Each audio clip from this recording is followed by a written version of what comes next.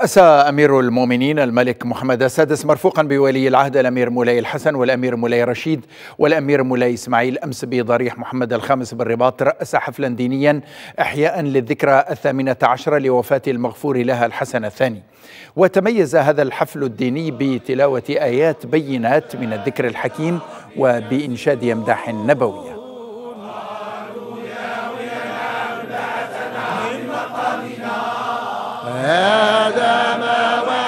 وبهذه المناسبة قام الملك محمد السادس مرفوقا بولي العهد الأمير مولاي الحسن والأمير مولاي رشيد والأمير مولاي إسماعيل قام بزيارة قبر المغفور له الحسن الثاني والمغفور له محمد الخامس حيث ترحم على روحهما الطاهرتين كما ترحم الملك محمد السادس على روح المغفور له الأمير مولاي عبد الله.